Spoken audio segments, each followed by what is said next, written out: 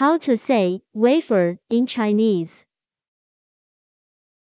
Wafer 薄脆饼圆片。Wafer 薄脆饼圆片。薄脆饼圆片。薄脆饼圆片。 薄脆饼圆片。Follow me。薄脆饼圆片。